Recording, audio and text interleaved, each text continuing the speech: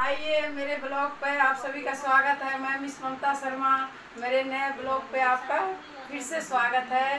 तो आइए आज मैं आप, आज मैं नया ब्लॉग बनाने जा रही हूँ। देखिए, पहले केला को काट के मैं पानी में डाल दी हूँ। इससे क्या होगा, जो दाग नहीं लगेगा कपड़े में या बर्तन में।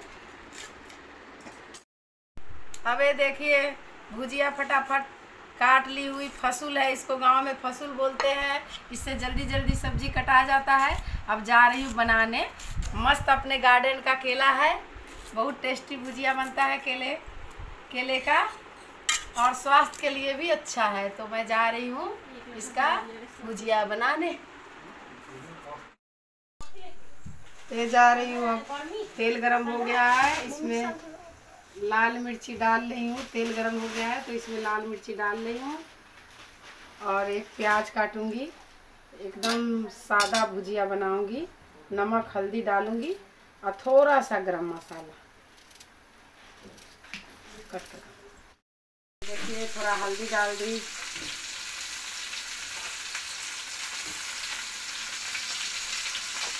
थोड़ा सा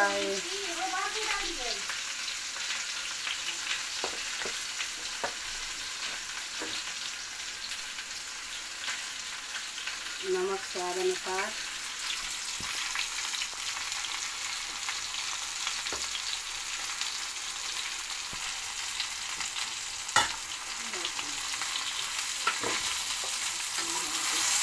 अब इसको सबको मिला देती हूँ।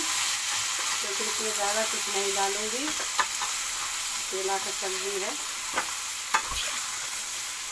बस इसको ढक देती हूँ, सीम से करके। और इसको ढक दूँगी।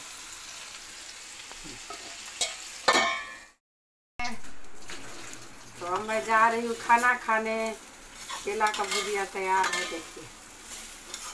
कितना यम्मी है।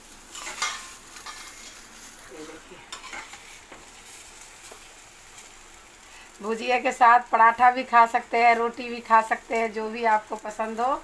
तो गरम गरम पराठा और केला का भुजिया मैं जा रही हूँ खाने। Yummy yummy